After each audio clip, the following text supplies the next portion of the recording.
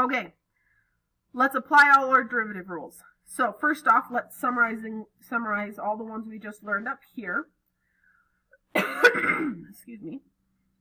So first thing I want to write is my first rule I learned, which was for exponents, which was put the exponent in front and then minus 1 in the top.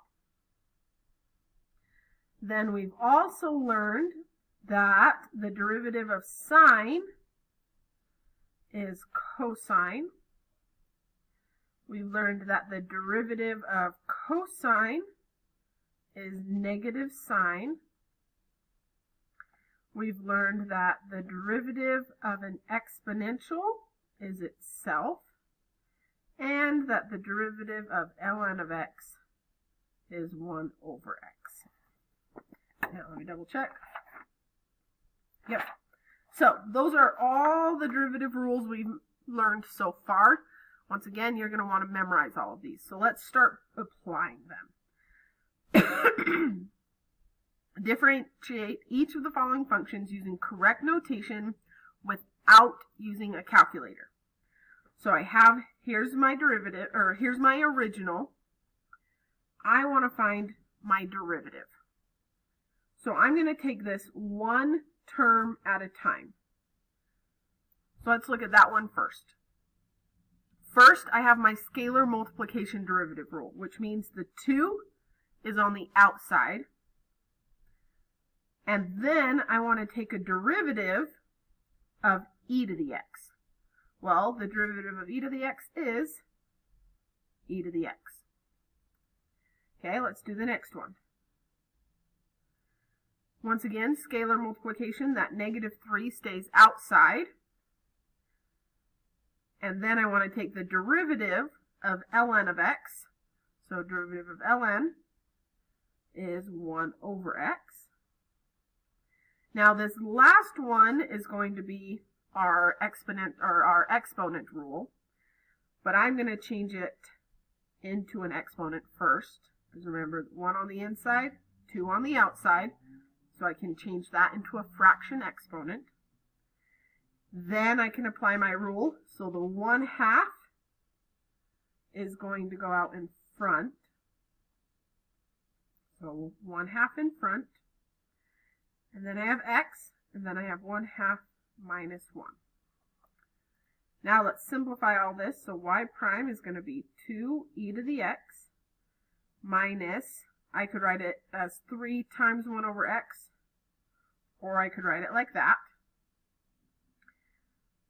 plus 1 half x to the negative 1 half. Now, you can simplify that further by bringing it into the denominator, making it positive, whatever.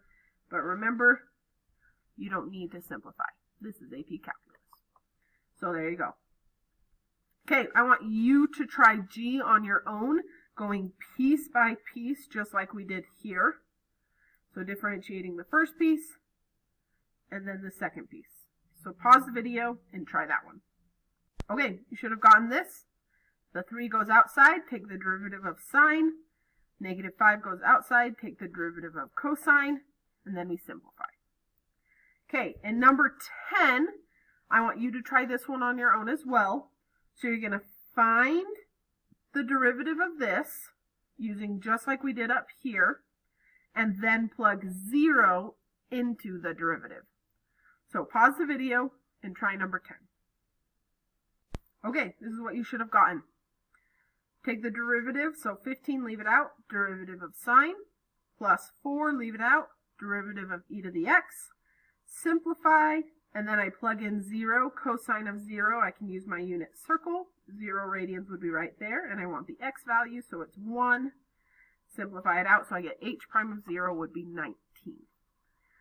Okay, now let's try number 11. This one I want you to once again try on your own, but notice right here, I want f double prime. So you're going to take the derivative twice and then plug 5 into it. So pause the video, try out that one. Okay, this is what you should have gotten. To walk you through it a little bit, so leave the 4 out, take the derivative of ln of t, take the negative 3 out, take the derivative of e to the t, and I simplified it right here a little bit.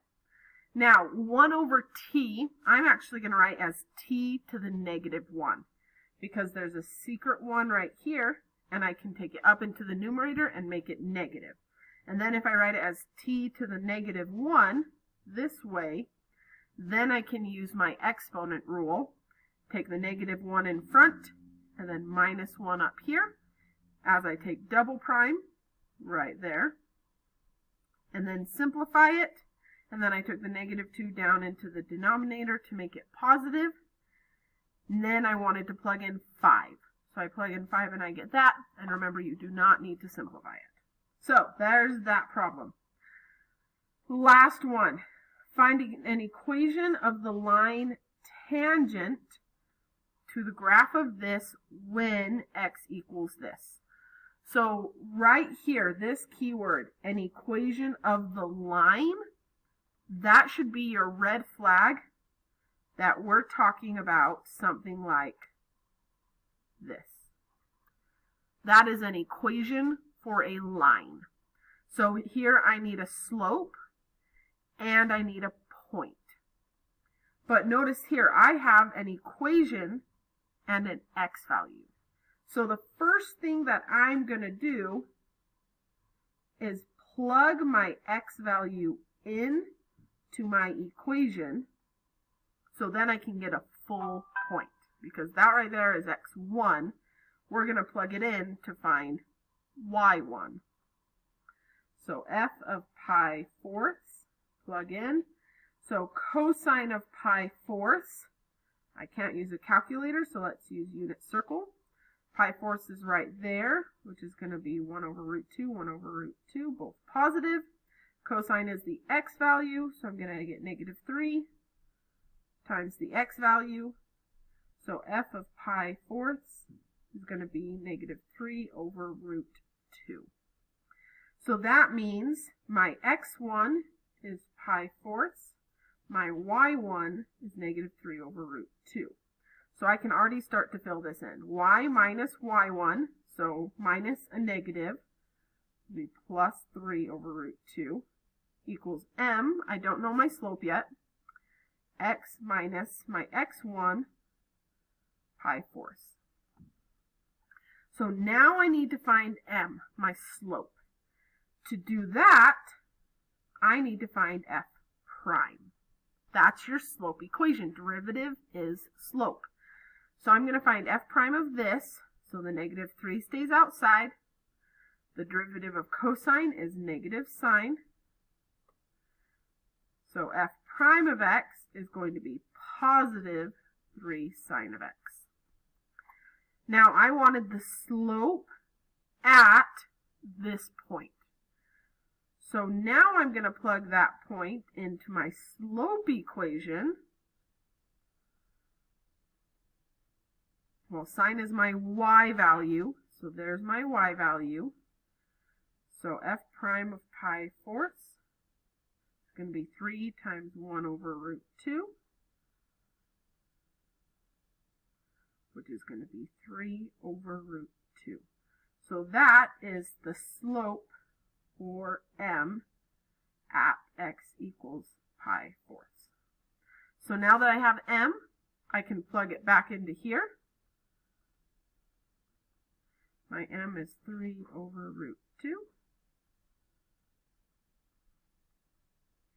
And there we go.